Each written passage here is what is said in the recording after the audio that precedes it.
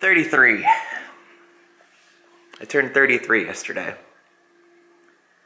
And I went to a session yesterday actually, which was a bit weird. Um, if you don't know, I've been going to see a therapist for about a year now, and it's been a very, very harrowing, enlightening, and an experience that I would do all over again if I had the chance. And uh, but that aside, I have other videos that talk about that. Um, he asked me if my if if my birthdays have been sad because I said when he asked me what I do on my birthday, I say I get introspective.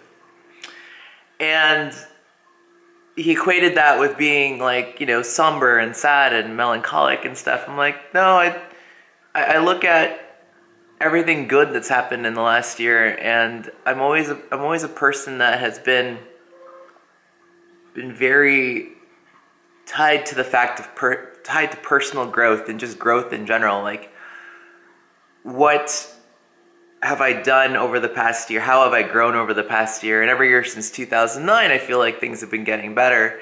Granted, everything's balanced. You know, you have your, we all have our share of good and bad moments. Um, I think this past year was definitely one of those, uh, one of the most unique and special years uh, that I've that I've ever experienced. And talking to you now, you know the fact that at thir- at 33, I'm doing something completely different with my life that I, than I ever thought I would, and it's going well for the most part. I think being placed in this kind of situation where you don't know if everything will work. Um, you wake up in the morning kind of fo- it, it helps you focus on the here and now and like what am I just what am I gonna do today? You know, won't worry about tomorrow, uh, kind of thing at times. Uh, while at other times you're like, well, you know, I don't know how long I'm gonna be able to do this. I don't know how long I'll be able to keep it up. Uh, maybe I should find other things to do. But the but to to be here, to sit here at 33, to be able to talk into a talking to a camera and and say that you know this is this is what I've been doing with my life and that it's not the norm uh, it's not the norm for many people is I'm kind of proud to be in this in this era um, at least you know in a very simple fashion um, I've changed a lot over the past year, and uh, I think a good amount of people have noticed that. And I plan to keep on changing because I need to.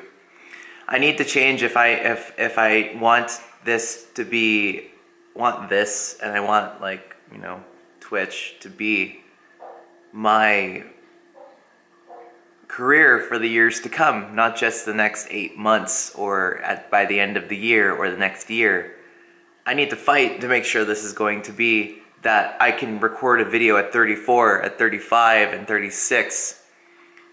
That I can be able to not only make money, not only make an income and make a career out of this, but also have it be something that I can then that becomes such a natural part of my life that then if if Jen and I were to have kids, for example, that it wouldn't be out of the ordinary it wouldn't be weird.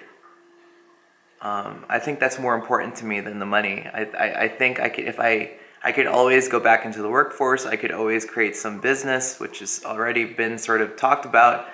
But, you know, I, I want to be able to do more of these videos. I want to be able to have that be just the thing that happens.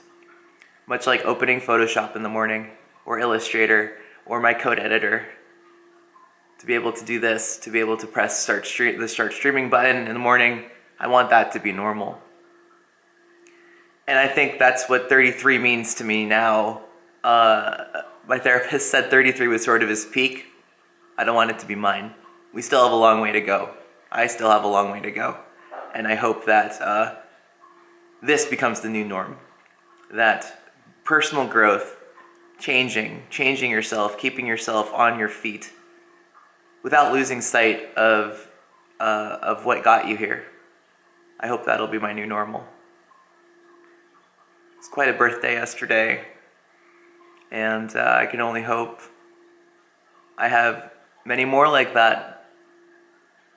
No, I don't have many gifts to show for it, tangible gifts, but the gifts of, of love and support that have come out from the community uh, over the past day and the, my friends and family.